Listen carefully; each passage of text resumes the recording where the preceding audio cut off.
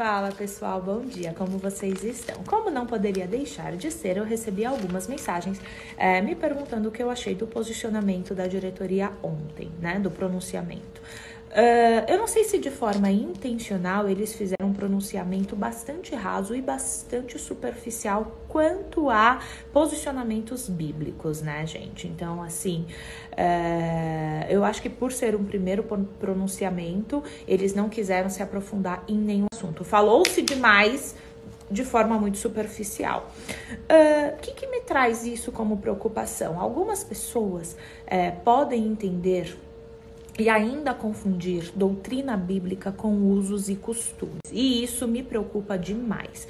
Eu já fiz um post aqui sobre religiosidade eu volto a falar. O religioso não é aquele que faz ou não faz alguma coisa, é aquele que, por fazer ou por. O religioso é aquele que, por fazer ou por não fazer alguma coisa, se julga melhor do que o outro. Então, a partir do momento que a gente reitera demais os costumes que nós temos, nós temos um risco muito grande de fomentar a cultura da religiosidade no nosso meio, que já é muito forte. O julgamento no nosso meio já é muito forte. Então a gente tem que tomar muito cuidado com isso, né? Mas enfim, é, por um outro lado também, eu vejo que nós é, estamos caminhando para uma nova estação, para uma estação de profundidade bíblica, né? Por uma estação de diferenciação entre costumes e doutrina bíblica, né? Eu ouvi ontem que barba não é pecado. E muitas pessoas acham que barba é pecado. Não é pecado barba, mas nós não temos tal costume.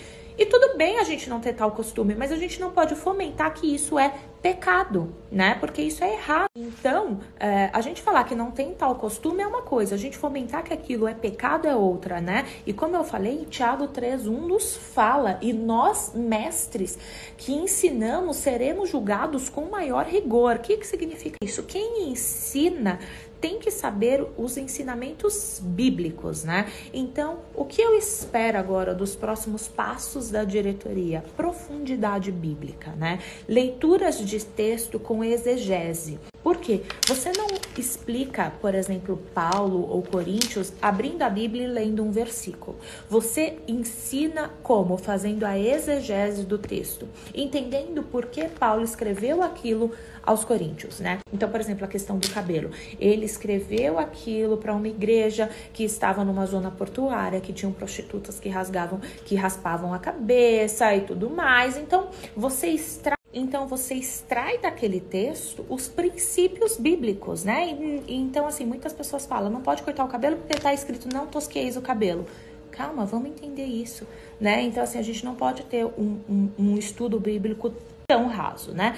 E quem é mestre, de fato, é mais cobrado. Uh, então é isso, gente. A única coisa que me preocupa é a gente fomentar no nosso meio a cultura do julgamento e do julgamento pela aparência. Porque a Bíblia fala em 1 Samuel 16, 7. O Senhor, contudo, disse a Samuel: Não considere sua aparência nem sua altura, pois eu o rejeitei. O Senhor não vê como homem. O homem vê a aparência, mas o Senhor vê o coração. Então, qual que é o meu medo da gente reiterar demais costumes? Né? Sem trazer as verdades, muitas vezes incômodas, que a Bíblia nos fala. É a gente fomentar essa cultura. Então nós temos que crescer na graça e no conhecimento da palavra, porque Oséias, em Oséias 4,6 fala: Meu povo foi destruído por falta de conhecimento.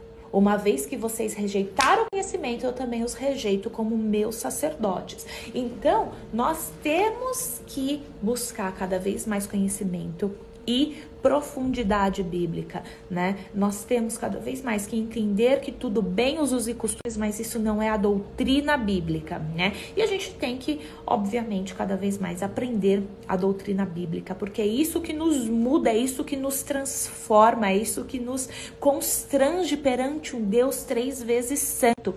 E eu quero ler com vocês esse texto que foi assim um divisor de águas na minha vida. Quando eu li ele, assim, eu não acreditei que esse texto estava na Bíblia Sagrada. Então eu quero que você e Colossenses 2, a partir do versículo 19, me constrange. Vamos lá.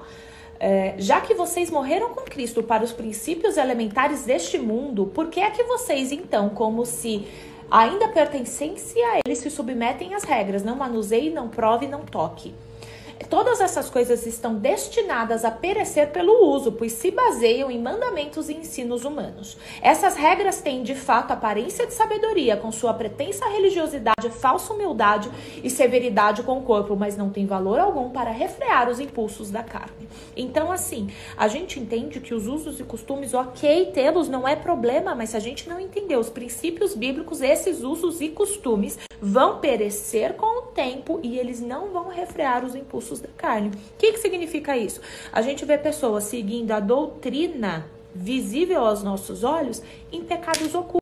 Então é isso, pessoal. Nós precisamos cada vez mais nos aprofundar no que é doutrina bíblica e não fomentar usos e costumes como doutrina bíblica, né? Como nesse Brasil afora a gente vê por aí. Então eu espero que as pessoas entendam o posicionamento, entendam que temos muitos costumes sim, e tudo bem, desde que a gente não confunda isso com doutrina bíblica, né? Porque no nosso meio, gente, tem tanto julgamento. Sabe, eu aqui no meu Instagram, eu recebo tantas mensagens de mulheres perdidas, de mulheres que perderam casamento, que perderam autoestima, porque não entenderam a diferença de usos e costumes, não entenderam é, o que é lícito ou não as mulheres fazer e vivem sobre um jugo pesado que não que não fomenta o que o coração, né? Porque Provérbios 4, 23 fala de tudo que se deve guardar, guarde Aí você fala, mas Deus não é açougueiro, ele não quer só seu coração. Mas a partir do momento que ele tem seu coração, você não vai ser uma pessoa sensual, você não vai é, ser uma pessoa que vai cometer pecados ocultos, aqueles que ninguém vê, aquela pornografia no seu telefone, aquele adultério, né? Aquele roubo, aquela falta de caráter cristão e tudo mais. Uh, e é isso, né? Resumo da ópera. Eu espero que nós entremos numa nova estação, com a diretoria dando é, cada vez mais estudos profundos com exegese bíblica, com profundidade bíblica, né? E que expliquem cada vez mais a diferença entre usos e costumes e doutrina bíblica, para que não fomente no nosso meio que os usos e costumes são doutrinas bíblicas e que o nosso povo, o povo que eu amo, porque a IPD é a minha igreja do coração cresça em conhecimento. É isso, pessoal. Vocês entenderam? Entenderam que eu acho que está, entraremos numa nova estação de conhecimento bíblico profundos, de tocar em assuntos tão delicados que carecem de uma exegese bíblica profunda, que a diretoria, que a nossa diretoria faça isso, né?